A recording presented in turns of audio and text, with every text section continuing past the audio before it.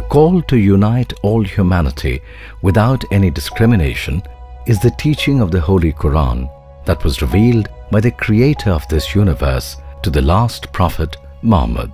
Peace be upon him.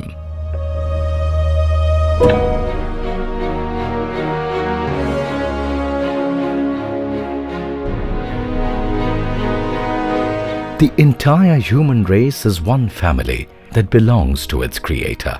It is therefore the responsibility of every individual to establish peace and prosperity in this world.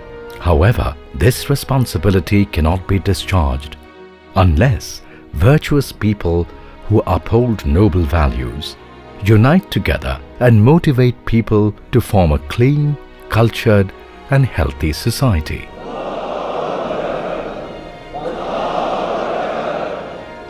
इस्लाम का पैगाम इस्लाम का संदेश सिर्फ़ मुसलमानों के लिए ऐसा नहीं है बल्कि सारी मानवता के लिए है। कोई शख्स किसी भी ज़ुबान में पढ़ना चाहे तो हम कहते हैं अल्लाह की किताब है तुम्हारे सामने। मुझे ना देखो इस किताब को देखो।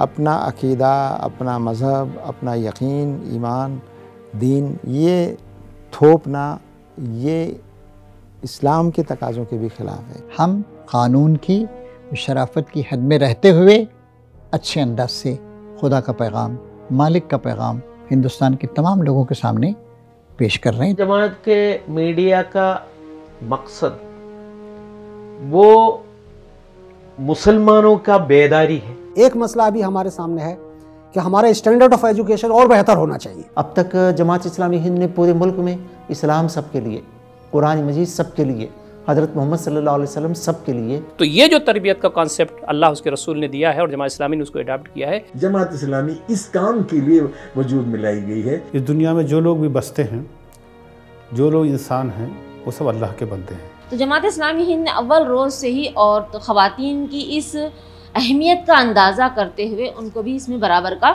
शरीक रखा है।